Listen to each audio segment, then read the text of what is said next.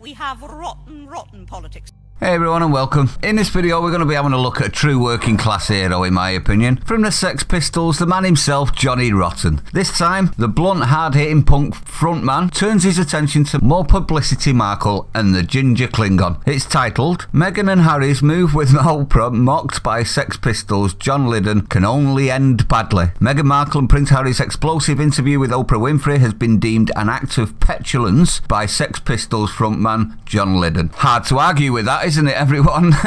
Meghan Markle and Prince Harry sparked global headlines following their tell-all interview with Oprah Winfrey, which aired on CBC, CBS and ITV last month. Did everyone watch it? Did anyone watch it, or did you just watch clips like me? The 65-year-old frontman hit out at the Duke and Duchess of Sussex after they branded the nation on Oprah Winfrey. Absolute debacle. He said over their bid for privacy they should mind their own business. Never a truer word was said, Johnny. They should mind their own business. This is the problem, you see. They want privacy, but they want their privacy to be publicity that they get paid for. Am I wrong on that? Let me know if you think I'm wrong on my opinion on that. This was asked due to the book that they got. And remember the book that they didn't write, but they did? That one. Finding Freedom biography. Well, they've announced they're updating it with more juices of the royal drama. That's, in my honest opinion, everyone, she created. But that's me. John said, are we ready for this? It seems like petulance when they flutter their wings and cry freedom, but it's not. They're serious prisoners. Everybody seems ever so willing to adopt a side and be spiteful with it. He added, My advice to them is they should mind their own business too. And if you want out of the public awareness, then don't go on the Oprah show. It can only end badly for you. Play stupid games, win stupid prizes, isn't it, everyone?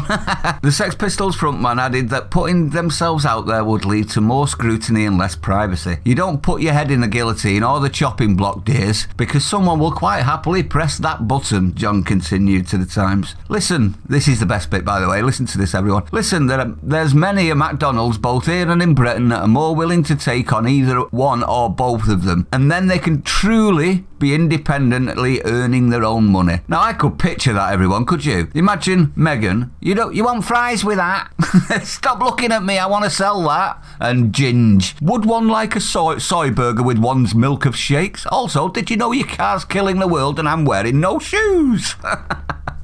Sorry, I went off on a bit of a tangent there, but that did paint a picture for me. John was vocal about the royal family in his early years when he fronted the Sex Pistols, but he has appeared to make a U-turn on his inflammatory lyrics as he admitted he does feel sorry for them. The rocker added he has a sense of empathy for the royals who are trapped in gilded cages. That's true. Golden cages are still cages if you don't want to be there, in my honest opinion. I have no issue, personally, with Harry and Meghan leaving. I have an issue with, um, one, lecturing us after. Two, trying to shame the nation. And three, screaming privacy while getting photo ops. Hypocrisy, in other words. John has recently spoken about out about the health of his wife, Nora Forster. It's horrible to hear about this, John. 75, amid her Alzheimer's diagnosis, admitting he has now accepted her condition as incurable. I really am sorry to hear that, John. You have my thoughts. I'm sure you have everyone else's thoughts that's listening. He explained that despite knowing his wife's condition will worsen, they're facing it together. Good man right there. That's exactly what you would expect from John. The rock star who resides in Venice